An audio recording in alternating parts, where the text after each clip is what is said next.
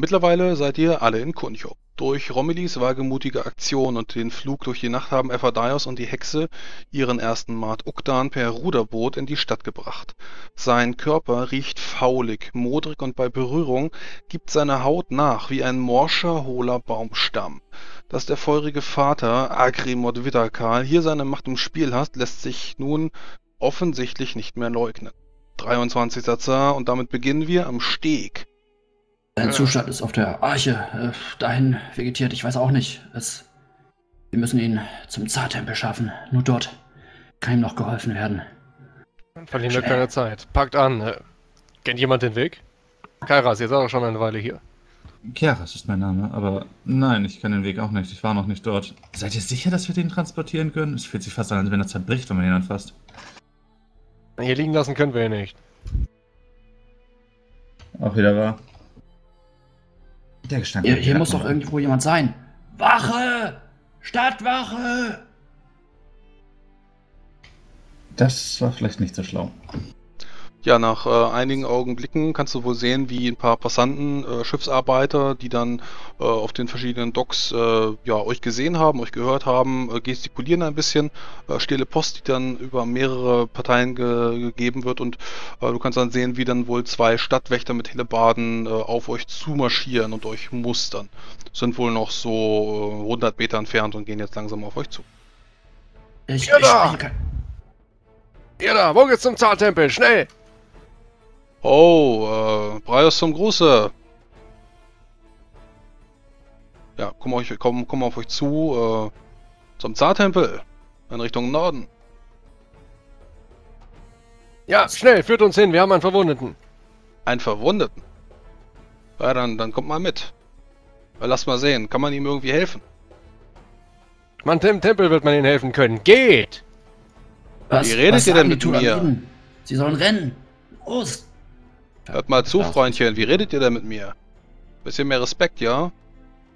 Wie nah ist er heran? Ja, jetzt gerade auf 10 Meter. Es hört man, es ist keine Zeit für Respekt. Das können wir hinterher ausdiskutieren. Der Mann stirbt sonst. Ja, Stadtwache kommt weiter auf euch zu, 5 Meter. Und äh, ja, wie habt ihr Uktan gerade transportiert? Keine Einer links, einer rechts und dann Einer links, einer rechts, okay.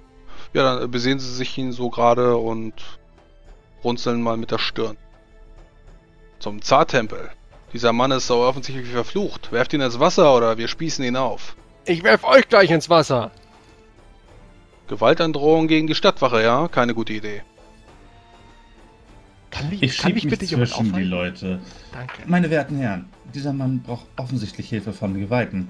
Und die Geweihten haben uns geschickt, um ihn herzubringen. Bitte. Es ist dringend. Ach, sagt es doch gleich, dass ihr, ihr kommt vom, ihr seid von den Zartempel beauftragt worden, ja? Ja, doch. Wir kennen uns in der Stadt nicht gut aus, deswegen brauchen wir dringend eure Hilfe. Aha. Dann solltet ihr trotzdem ein bisschen mehr Respekt haben. Also gut. Entsprechend werdet ihr natürlich belohnt. Ja, das wollte ich gerade sagen. Gut, gut. Dann kommt man mit. Ja, ähm, die beiden Stadtwächter marschieren dann äh, mit äh, den Schritten voraus und ähm, dadurch wird euch auch eine ganze Menge Platz gemacht. Ihr könnt auch verschiedene Personen erkennen, mh, die dann euch offensichtlich ja als Bettler, als Händler bedrängen würden. Aber durch die Stadtwache, die sich dann da äh, euch den Platz äh, so freischält, könnt ihr die ganzen Leute dann ignorieren.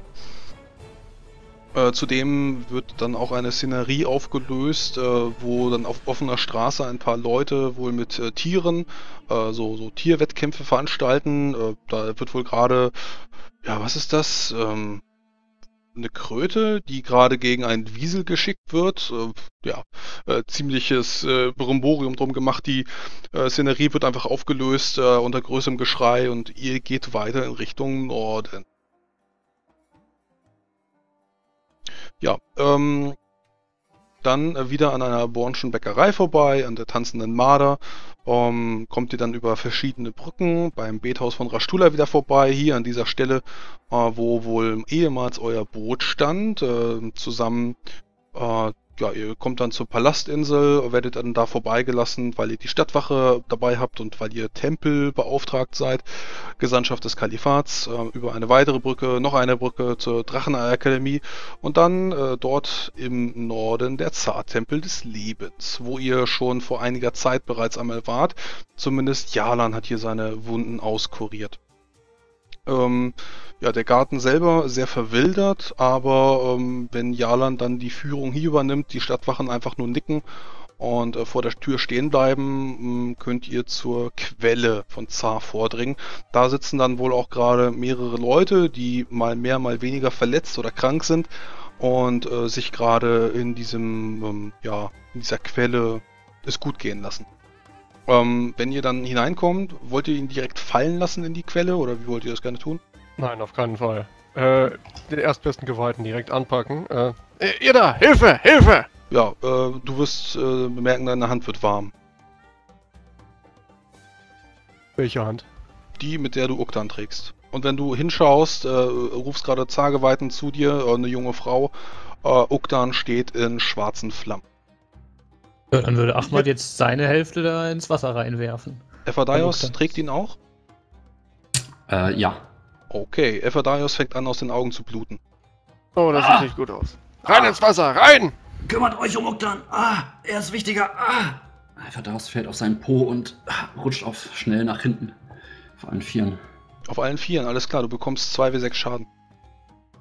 Und ich äh, versuche zum zur Türschwelle zurückzukommen. Auf Krebsschritt quasi. Ich folge ihm. Ja, ich habe da gerade keine Augen für. Uktan, aber ins Wasser. Ach, man macht schon. Ja, ähm, wie gesagt, er brennt mit schwarzen Flammen ähm, und äh, riecht und stinkt widerlich.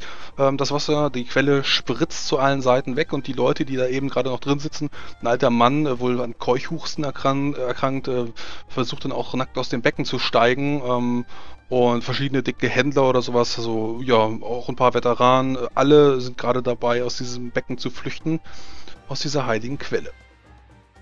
Und. Ephadaios würfelt mal bitte eine weitere Athletikprobe, um schnell genug wieder aus dem Tempel zu kommen. Sonst bekommt er weitere 2w6 SP. Gut, dann kannst du nur äh, 2w6 halbe die einmal aufschreiben, also nochmal einmal. Denn wenn du auf Krebsschritten jetzt hier versuchst rauszukommen, äh, ja, das gelingt dir etwas schneller und äh, nach neuen Schadenspunkten, die sich darin äußern, dass du Seitenstiche hast, Schmerzen in deiner Brust, Schmerzen in deinem Bauchbereich und deine Augen anfangen zu bluten, äh, ja, kommst du wieder raus, Chiara ist an deiner Seite und die Stadtwache äh, schaut euch besorgt an. Die anderen stehen immer noch neben der äh, heilenden Quelle von Zar. Äh, auf. Wurde hat das von das- den Flammen getroffen? Das den Uktan gelöscht. Äh, Uktan ist gelöscht, ja, er fängt jetzt nicht mehr an zu brennen und äh, treibt gerade ähm, auf dem Wasser wie ein totes Stück Holz. Achso, also er brennt nicht mehr, okay, gut. Er brennt nicht mehr, nein, er ist Dann gelöscht. hätte man, also man hätte gesehen, wie Ahmad da gerade im Begriff war, hinterher zu springen, aber sich das jetzt nur weiter begutachtet und äh, finster dieses Stück Holz betrachtet. Hand Was? an, Was, was ist hier los? Äh, äh, bei, bei der gütigen, bei der jungen Göttin. Was, was das, das ist ein Tempel der Zar. Was tut ihr hier? Der Mann ist krank. War krank. Ist krank. Krank? Das sind offensichtlich dämonische Einflüsse. Ihr könnt ihn doch nicht einfach so in die, in die Quelle der Zar schmeißen. Dieser Ort ist heilig. Aber das, wenn der Ort heilig ist, dann treibt er doch wohl Dämonen aus. Ja, natürlich, äh, wenn es noch nicht zu spät ist, sonst, sonst stirbt er jetzt. Aber ihr könnt doch nicht ein, ein, oh, das muss doch abgesprochen sein. Das, er- hat gebrannt. Auf einmal. Urplötzlich. Ja, als ihr ihn in den Tempel reingezogen habt, natürlich. Natürlich fängt er dann an zu brennen.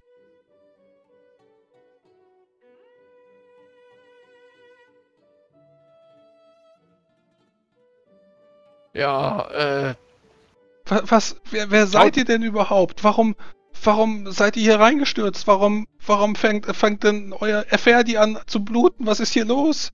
Ich glaube, er hat den zu lange angefasst.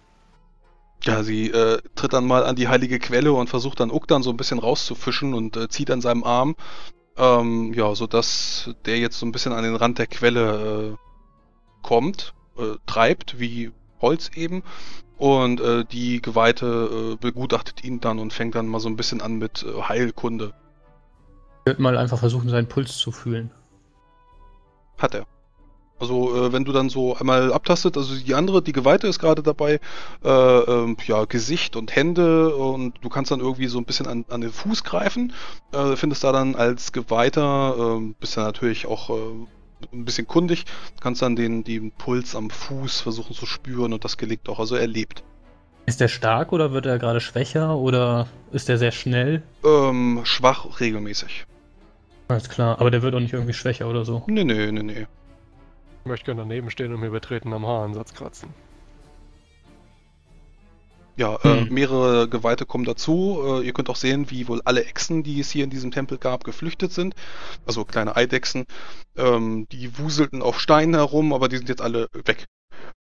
Und äh, jetzt kommen zwei weitere Geweihte äh, auf euch zu, auf diese Szenerie. Einer hat ihn, einer von ihnen hat sogar einen äh, kleinen Papagei auf seiner Schulter. Äh, wa- was, was tut ihr denn hier?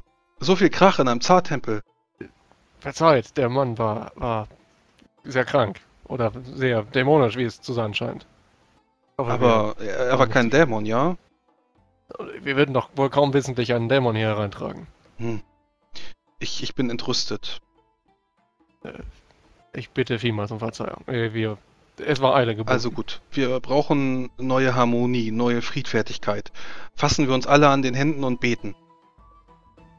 Und dann nimmt er die Hand von Jalan und äh, Ahmad, wenn du dann mit dem Puls fertig bist, dann äh, wirst du auch merken, wie der, der Geweihte auch an deine Seite kommt und äh, auch du an den Händen gefasst wirst. Sodass ihr jetzt einen kleinen Kreis bildet. Äh, Luzi äh, Romilly ist auch äh, noch dabei und wird eingeschlossen in diesen Kreis, sodass ihr dann zwei Geweihte der Zar dabei habt. Und äh, ja, ihr habt jetzt, wie gesagt, einen, einen äh, Händekreis gebildet, sodass jetzt äh, ihr euch alle an den Händen so ein bisschen schütteln könnt. Und äh, die Geweihten gehen jetzt gerade im Kreis und wippen ein bisschen mit den Knien und fangen jetzt an, ein lustiges Kinderlied zu singen. Also man merkt auf jeden Fall, dass Ahmad dabei die Augen verdreht.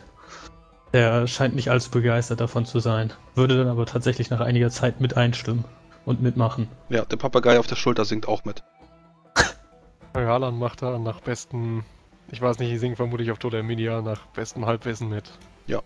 Es ist wie gesagt ein Kinderlied ähm, und bringt neue Harmonie in euch und neue Friedfertigkeit. Ah, Besser. Derweil draußen Kiaras und Ephodias. Ja, doch. ich versuche ihn natürlich sofort zu untersuchen, warum er jetzt blutet, ob die Flammen ihn verletzt haben. Das, das ist, es ist gut. Und ah. Äh, sinkt auf seine Füße und seine Knie, senkt, äh, senkt sich nach hinten ab, breitet seine Arme aus, schaut gen Himmel mit seinen blutunterlaufenen Augen und schreit auf Zyklopäisch: Ich hasse dich! Warum? Ich gehe mal ein, zwei Schritte zurück, gucke ihn sehr misstrauisch an.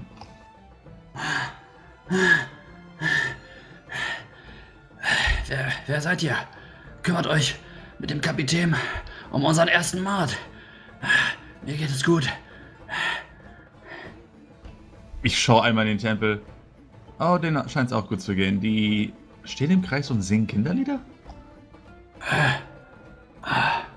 Das wird ah, schon helfen. Verdaus wischt sich mit der Hand das Blut unter den Augen weg. Ich gebe dir ein Taschentuch zum äh, Wegwischen. Danke. Bist du eigentlich? Ah, verzeiht, dass ich mich noch nicht vorgestellt habe. Chiaras du Familie und Karinor. Ich äh, würde sagen, dass ich mich vor kurzem eurem Captain angeschlossen habe. Ey, äh, tut mir leid, also ich, wir wollten nicht weiter aufhalten, aber wir haben ja auch unsere Sachen zu machen und äh, wir haben immer was zu tun und wir würden gerne wieder gehen. Was auch immer das hier ist.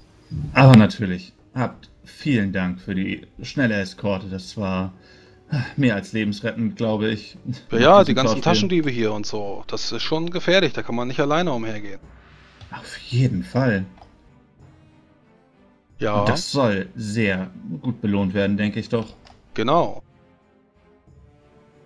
Ich gebe jedem von den zwei Silbertaler. Die schauen sich die Münzen an, schütteln dann nur noch mit dem Kopf und gehen dann. Gut, dass ihr die Sprache der Ptolemiden sprecht. Puh. Na und was, was sollte hier bei uns auf dem Schiff sein? Wisst ihr denn, was für ein Schiff wir fahren? Nun, zunächst war ich mir sicher, doch sagen wir, eure Mannschaft lässt immer mehr interessante Informationen fallen. Nun, ich schätze, ihr werdet das schon bald in Augenschein nehmen können und dann könnt ihr euren, eure Anheuerung auch noch einmal widerrufen, wenn ihr wollt. Puh. Nun, wir werden sehen. Ich habe natürlich meine eigene Agenda und eine eigene Aufgabe zu erfüllen. Ich. Ich werde den, den Weg zurück zum Hafen nehmen. Ähm, sagt dem Kapitän doch Bescheid. Puh. Werde ich. Wo kann man euch finden? Wir haben nicht wirklich ein Schiff, mit dem wir zurückfahren könnten. Äh, wir, wir haben hier einen Kontor. Ähm, ich bin übrigens Ephadaos. Und er streckt dir seine Hand hin. War etwas Blut dran, was er sich von den Augen abgewischt hat. Äh, Ja, ich nehme deine Hand. Erfreut. äh, Kiaras, nicht wahr? Ja. Welche, welche Position werdet ihr bei uns begleiten, äh, bekleiden? Nun, das wurde mir noch nicht gesagt. Doch, ich kann Position übernehmen, wie es auch äh, gebraucht wird, sei es als Navigator oder Offizier. Oh, dann habt ihr wohl schon gedient. Lass ja, uns nachher darüber reden. Flotte. Interessant. Gut. Und bis nachher. Bis Hm. nachher. Ja, ähm, den Weg zum Konto suchen. Alleine? Ähm, ja, alleine. Perfekt. Ähm, Gassenwissen erschwert um sechs Punkte. Weil fremde Okay. Stadt und ja, du kennst das ja. Alles klar. Derweil im Zartempel, Hilal ist der lauteste, der singt, der kennt die ganzen Lieder wohl und äh, ist sogar noch lauter als der Papagei und die beiden Geweihten. Und nachdem wieder genug Harmonie in euch drin ist und ihr die, den Jezorn und die Rachsucht alle abgebaut habt, äh, ja, enden dann die Geweihten mit dem Singen und äh, die andere Geweihtin, die gerade an dieser Quelle steht, ähm, ist wohl auch zufrieden, äh, nickt dann, äh, auch wenn sie so ein bisschen, ja, ärgerlich nicht, enttäuscht. Sie sieht enttäuscht aus, weil Zageweihte sind niemals ärgerlich.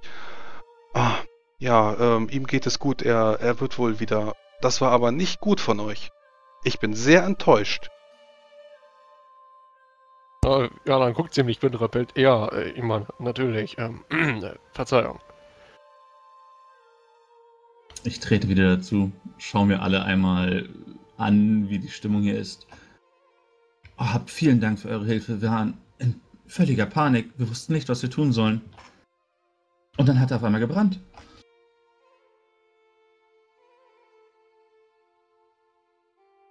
Ja, ähm, ich bin mir nicht ganz sicher, was mit ihm ist, aber äh, das war zumindest. Äh, ach so, ich erinnere mich. Ähm, äh, Romilly, ihr seid ja diejenige, die ihn beschrieben hatte, ja?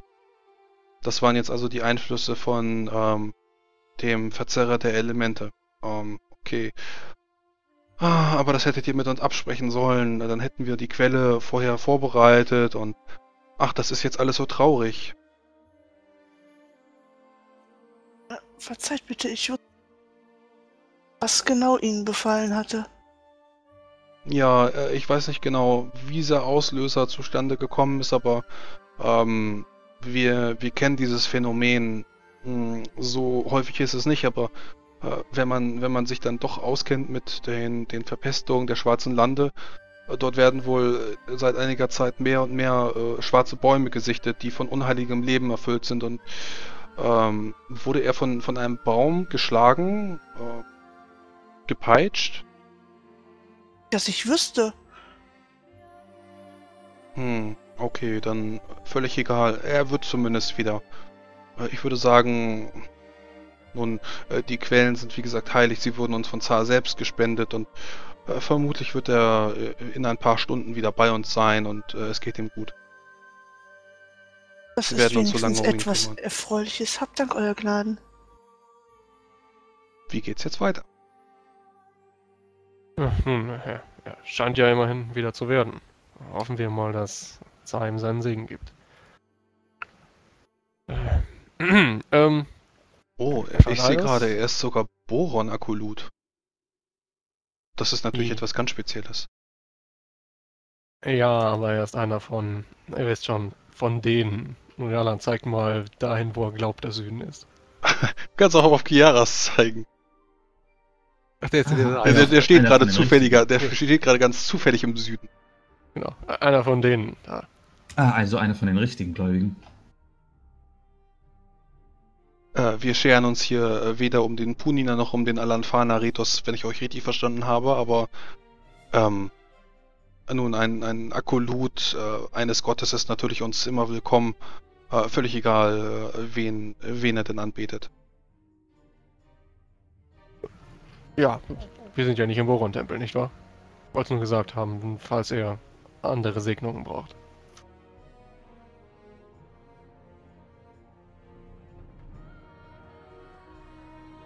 Na gut, äh, wir sollten vielleicht erst einmal wieder unserer Gaststadt zurückkehren und, und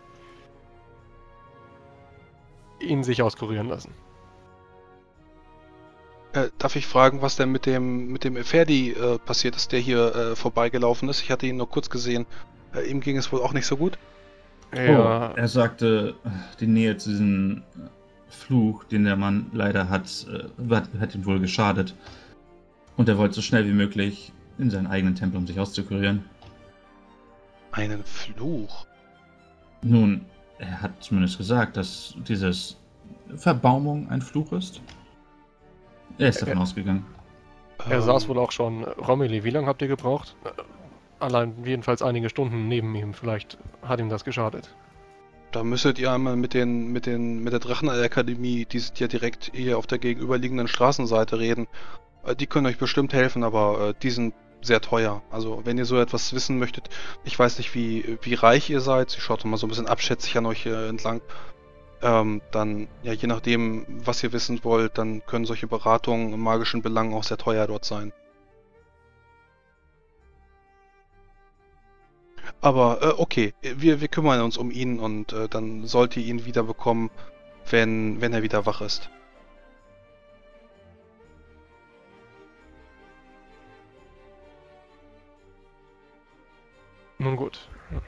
Habt Dank. Habt vielen Dank für eure Hilfe. So, Frage an Evadaios. Du hast jetzt was? Richtungssinn?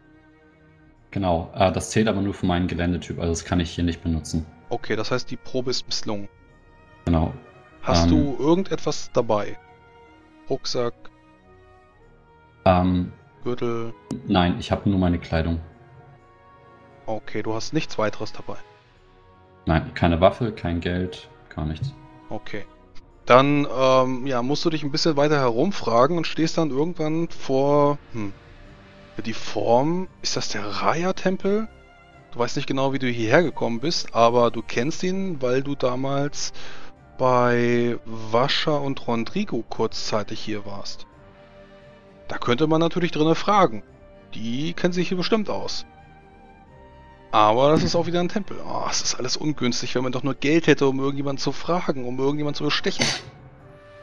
Ich, ich werde einmal in der Luft schnuppern, um äh, einem Fischgeruch, ich hoffe, dass ich einen aufnehme, zu folgen und damit hoffentlich den Hafen zu finden. Mhm, das lasse ich dir zu. Ähm, Im Süden, der tiefe Manali. Zumindest irgendein Fluss.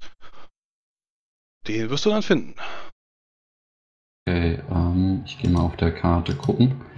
Kannst du mir zeigen, wohin ich komme? Oder Ich nee, sag am dir- besten sagst du mir. Ich sagte, du bist jetzt an, du bist jetzt an irgendeinem Fluss. Äh, dadurch, dass das ganze äh, Delta, na gut, äh, Kuntium wird dann nur von zwei, drei Ärmchen durchströmt. Ähm, also an irgendeinem Fluss wirst du gerade stehen. Und den Hafen kannst du von hier aus auch sehen. Okay, dann äh, werde ich zum Hafen gehen und quasi die äh, Küste oder die Piere ablaufen, weil unser Konto ist ja selbst auch äh, am Hafen. Gut. Ja, du wirst von zahllosen Leuten dann äh, befingert, weil, naja, irgendjemand bietet dir wieder was an, eine Melone oder äh, eine Katze oder eine Frau, ein paar Kamele ähm, und ja, kann dir halt egal sein, weil du gerade kein Geld oder keine Gegenstände am Gürtel hast, keinen Rucksack.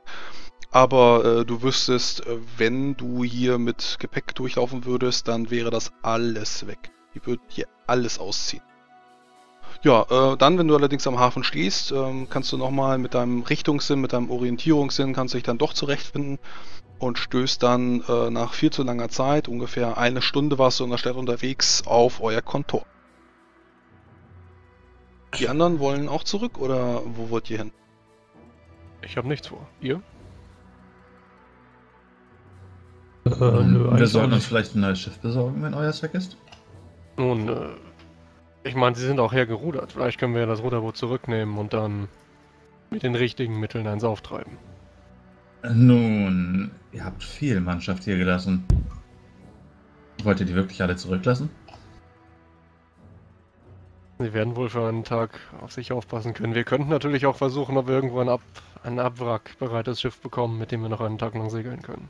Vielleicht verkauft auch ein Fischer sein Boot. Zumindest größer als ein Ruderboot. Hm.